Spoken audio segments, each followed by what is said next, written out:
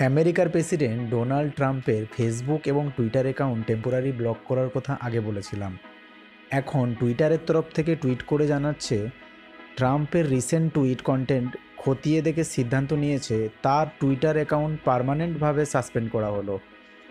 এই খবর শোনার পরে ডোনাল্ড ট্রাম্প জানাচ্ছে যে, সে নিজস্ব একটা সোশ্যাল মিডিয়া অ্যাপ লঞ্চ করবে। এবার একটা মজাদার এবং অবাক করা খবর বলে নিই। আপনারা সবাই গুগল আর্থ বা গুগল ম্যাপের নাম শুনেছেন এবং ব্যবহারও করেছেন হয়তো। গুগল আর্থে আমাদের পৃথিবীর ম্যাপ দেখা যায় স্যাটেলাইটে তোলা ছবি থেকে। এবং গুগল আর্থের এই ছবি তারা কিছুদিন পর পর আপডেট করে। কিছুদিন আগে জাপানের এক ভদ্রলোক জানাচ্ছেন, তিনি তার বাবার ছবি খুঁজে পেয়েছেন, কিন্তু তার বাবা সাত বছর আগে মারা গেছেন। ভদ্রলোক টুইট করে জানাচ্ছেন, তিনি তার বাবার বাড়ি গুগল আর্থে খোঁজার সময় এই বিষয়টি লক্ষ্য করেছেন। এবারে একটু ভারতীয় ক্রিকেটের প্রাক্তন অধিনায়ক এম এস ধোনির খবর বলে নিই।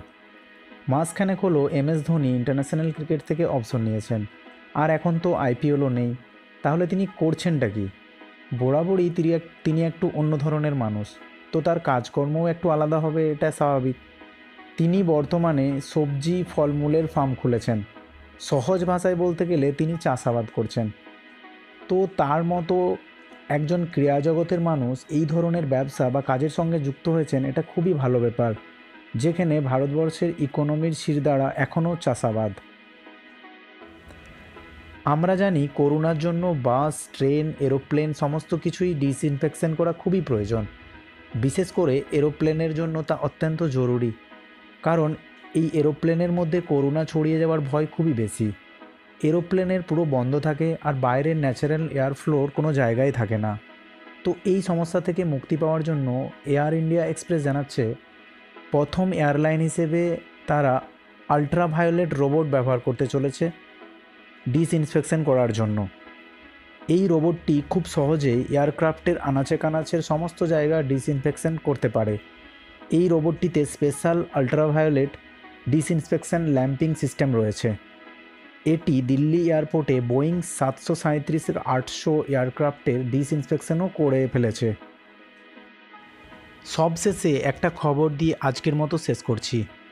আজই কিছুক্ষণ আগে জানা গেছে, ইন্দোনেশিয়ার রাজধানী জাকার্তা থেকে একটা বোয়িং সেভেন থার্টি সেভেনের পাঁচশো সিরিজের প্লেন একশো বিরাশি জন যাত্রী নিয়ে টেক অফ করেছিল।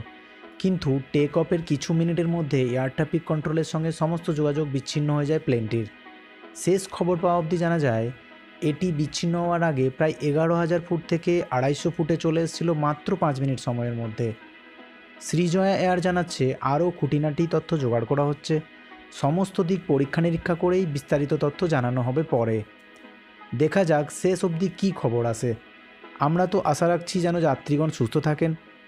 এই বিষয়ে আরও বিস্তারিত খবর আমরা পরে আপডেট করব। আজকের মতো এখানেই শেষ করলাম।